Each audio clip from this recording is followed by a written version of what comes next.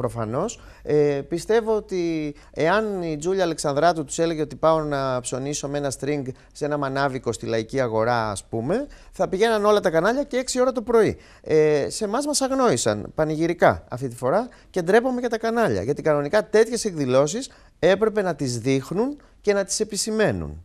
Αυτό είναι το μήνυμα. Ε, ο Σπύρος ο ε, την περίοδο αυτή ε, με μεγάλη επιτυχία, όπου και εκεί βρέθηκε η κάμερα της εκπομπής αποκλειστικά, ε, βρίσκεται σε μια καταπληκτική παράσταση που είδαμε πάρα πολλά πλάνα την προηγούμενη εβδομάδα. μια παράσταση που έχει την υπογραφή Daddy Cool, Λίσο, Μάρκος Σεφερλής. Το έργο είναι του Κούνεϊ. Ε, και Βεβαίως. έχει ξανανέβει και άλλη φορά στην Ελλάδα από το Χάρη Ρώμα πριν 14 χρόνια περίπου. Ο Μάρκος το διασκεύασε, το έφερε στα μέτρα του και το επέκτηνε, πρόσθεσε και ρόλους και έχει κάνει μια διασκευή κατά το Μάρκο. Πάρα πολύ ενδιαφέρουσα και πάρα πολύ διασκεδαστική. Τώρα, το πώς βρέθηκα εγώ στο Σεφερλί, τα έχουμε πει. Ε, είναι μια αντικατάσταση στο παραπέντε, δηλαδή δύο μέρες πριν την Πρεμιέρα, αρρωσταίνει ένα ηθοποιός και εγώ ερχόμενος από, τις πρέσ, από τη μάλλον, πρέσπες Χίο, ε, βρέθηκα να ετοιμάζομαι για ταξίδι Χριστουγεννιάτικο και ξαφνικά βρέθηκα στο Περοκέ. Με μεγάλη μου χαρά όμως, γιατί τον Μάρκος Σεφερλί τον δέχομαι ως τον πρώτο διασκεδαστή στο θέατρο. Ε, είναι πολύ σημαντικό αυτό που κάνει να σειραίουν πλήθη ε, στο θέατρό του χωρίς μεγάλη υποστήριξη από τα ΜΜΕ και τον τύπο. Ε, και το επισημαίνω αυτό γιατί κάποιες στήλες θεαμάτων δεν τον αναφέρουν στα θεάματα.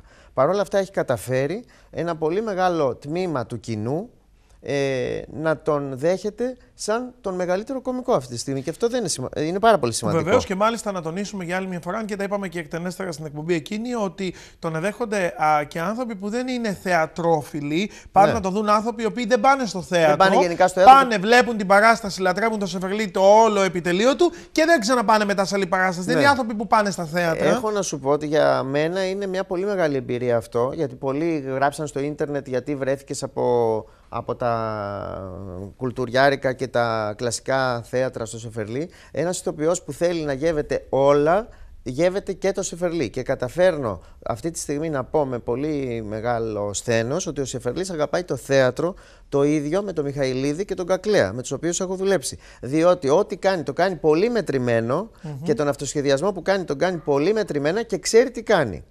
Ε, γι' αυτό το λόγο, επειδή παραλληλίζω τη δουλειά αυτή που κάνω σήμερα σαν ένα μεγάλο κόμιξ, δηλαδή ο, ο, ο Σεφερλής έχει πάρει κάτι από τα κόμιξ και το έχει βάλει μέσα στις πρόζες και στις επιθεωρήσεις. Τη δουλειά που κάνω σήμερα την παραλληλίζω με τη δουλειά που έκανα στα κόμιξ, τα οποία είναι μια τρελή δουλειά και τρελή δουλειά είναι και του Σεφερλή. Γι' αυτό και έχω φέρει βιντεάκια των κόμιξ. Λοιπόν, θέλω να πάμε, ε, να το δούμε αυτό που έχουμε ετοιμάσει ε, και ό,τι την γυρίσουμε θέλω να σχολιάσουμε. Έχουμε ετοιμάσει πολλά βιντεάκια από Σπύρο Μπίλα και σήμερα θα δείτε μετά από δική σας παράκληση από τις φορές που έχει έρθει στην εκπομπή και μία μας συνεργασία, ακόμα μία μάλλον στις εκατοντάδες συνεργασίες, ε, στη μεταγλώτηση, αποκλειστικά να μείνετε σε λίγο για να ακούσετε ένα διάλογο το γουρουνάκι, το μπλε με το γουρουνάκι το κίτρινο, αν θυμάμαι καλά και το, τα χρώματα, έτσι όπως δεν το έχετε ξαναδεί. Πάμε να δούμε ένα μικρό βίντεο και επιστρέφουμε.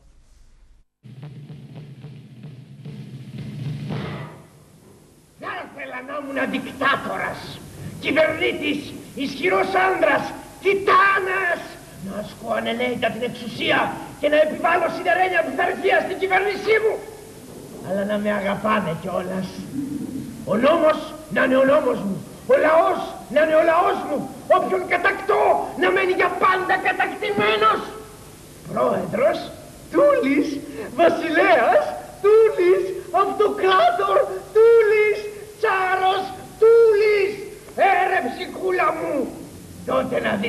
Δεις γκόμενες.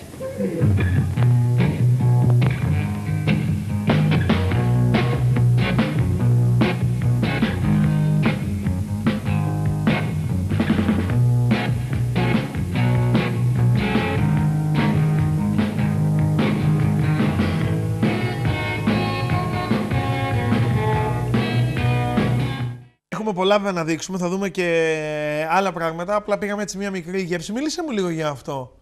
Αυτά είναι τα κόμιξ. Τα πρώτα... Έχω δουλέψει σε πολλά κόμιξ με τον Κακλέα, τρεις παραστάσεις, τα οποία γίνανε σε θέατρα που δεν υπάρχουν πια. Γκρεμίστηκαν το ένα από το σεισμό, το άλλο από το σεισμό το, των λαθών του κράτους, γιατί γκρέμισε τα θέατρα για να φτιάξει σχολείο και το σχολείο δεν έφτιαξε. Είναι οι δύο τεχνοχώροι, ένας στην Πατησίων και ο άλλος στη Μαυρομιχάλη, που εκεί γινόντουσαν οι παραστάσεις των κόμιξ. Είναι πολύ σημαντικές δουλειές και δώσανε μαθήματα στο θέατρο. Από ό,τι μου έχει πει ο Μάρκος, τα παρακολουθούσε τότε τα κόμιξ. Ε, πόσο σημαντικό είναι για την σημερινή εποχή, ίσως να έρθουμε και να κάνουμε κάτι ανάλογο; Γιατί έχουμε και, έχουμε και θέμα, έχουμε υλικό, έχουμε, αν το θέλεις, μήνυμα. Γιατί τα κόμιξ ε, δίνουν και ένα μήνυμα εκτός ότι βγάζουν φοβερό γέλιο. Τα κόμιξ, το κάθε μικρό κόμιξ είναι και ένα μήνυμα για τη ζωή και για τα κακό κείμενα. Τα κόμιξ έχουν πάρα πολλά μηνύματα. Για σένα, εάν σου έλεγα κάτι το οποίο από όλα αυτά που έχεις παίξει, που έχεις ε, ε, συμμετοχές, ε, σου έχει λείψει και θα ήθελες να γίνει μία επαναφορά στο μέρες μας, μία επανεκτέλεση διαφορετικά, ποιο θα επέλεγες, υπάρχει κάτι Τι θα ξανά έκανα ναι, από, το, θέατρο, από το κόμιξ, από Όχι, παράσταση, ε, από Ξέρω τι θα ήθελα να ξανακάνω. Την πρώτη παράσταση της ζωής μου που ήταν με επαγγελματικά, ε, αρχαία τραγωδία, το, τον Αγαμέμνονα του Εσχύλου να ξανά παίζα την Κασάνδρα όπως πριν 30 τόσα χρόνια. Ε, με έναν άνθρωπο που θα μιλήσουμε μετά για αυτόν, τον Κωνσταντίνο Μάριο, το σκηνοθέτη μου, ο οποίος δεν είναι πια στη ζωή και με τον οποίο είχαμε κάνει πάρα πολύ σημαντική δουλειά πριν 30 χρόνια. Ε, την περίοδο αυτή όμως, εκτός από τον Μάρκο Σεφερλία, αλλά και γενικότερα από όλα αυτά τα οποία βλέπουμε και μαθαίνουμε για σένα, ε, τρέχετε πάρα πολύ με μια ταινία μοναδική. Είχαμε μιλήσει για την ταινία αυτή όταν ακόμα δεν είχατε φύγει για τις πρέσπες. ναι. και είχαμε δείξει όταν πήγατε ε, πολύ γρήγορα κάποιες φωτογραφίες.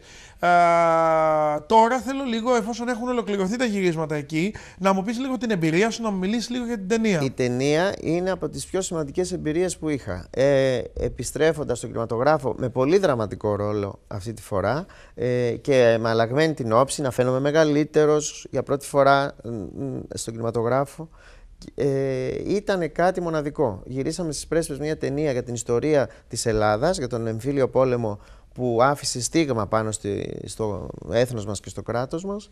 Ε, μια ιστορία αληθινή, μια ιστορία πάρα πολύ άγρια, ε, νομίζω ότι ο κόσμος θα εντυπωσιαστεί όχι μόνο από την αλήθεια των γεγονότων, αλλά και από την αγριότητα των γεγονότων, τα οποία δεν πρέπει να ξεχνάμε, γιατί είναι μάθημα για το μέλλον τι έγινε στο παρελθόν και πώς οι Έλληνες σκοτώθηκαν μεταξύ τους, γιατί οι εμφύλοι πόλεμοι είναι το, οι πιο άγριοι πόλεμοι που έχουν γίνει πάνω στη γη. Ε, η ταινία λοιπόν αναφέρεται σε αυτή τη σκοτεινή περίοδο, ε, φέρει, ρίχνει τα βέλη και από τις δύο πλευρές, γιατί καμία πλευρά δεν μπορεί να έχει δίκιο όταν σκοτώνει αδελφό τον αδελφό. Ε, Βεβαίως από κάπου ξεκινάει το άδικο, αλλά μετά τους παρασέρνει όλους η δίνη αυτή του πολέμου και κάνουν λάθη και οι δύο πλευρές. Αυτό δείχνει η ταινία. Ε, η ταινία θα πάει σε μεγάλα διεθνή φεστιβάλ, στις Κάνες, στο Βερολίνο και αλλού. Μετά θα έρθει και εδώ, θα πάει στο φεστιβάλ Θεσσαλονίκης και θα παιχτεί στο τέλος του 2010 ή αρχή του 2011. Ε, πιστεύω ότι θα αποσπάσει πολλά βραβεία. Παίζουν πολύ σημαντικοί ηθοποιοί. Ξανασυναντιέμαι με τον Ανέστη το Βλάχο μετά από πολλά χρόνια. Γιατί είχα δουλέψει μαζί του στο Ζητιάνο του Καρκαβίτσα τότε στην ΙΕΝΕΔ. Είχαμε παίξει και αποσπάσματα την προηγούμενη φορά. Από τον Ανέστη το Βλάχο. Α, από το Ζητιάνο, ναι.